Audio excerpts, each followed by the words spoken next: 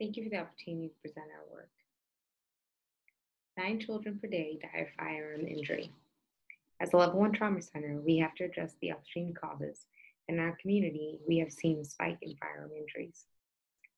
In order to make our outreach events more effective, we want to understand our target audience, families of firearms in the home. We conducted an anonymous cross-sectional survey at a pediatric-specific injury prevention event in conjunction with the large regional fair over a two-week period.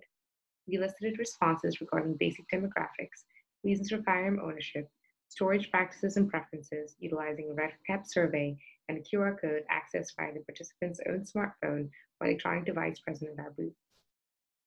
Our goal is to understand what storage practices could be implemented. After all, a gun lock given and thrown away is of no use in injury prevention.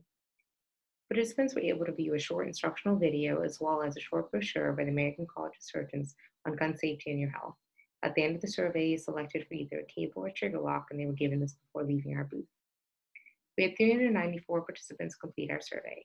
99% were English speaking, 55% were female, 85% identified of 26 to 64 year age group, and 65% identified as white.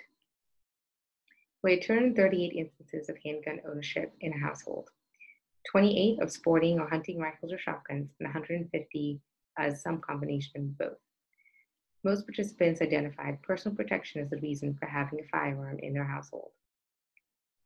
Those who had handguns stated standing safe as their primary preference, with trigger locks replacing out of sight or hiding as secondary preferences for storage.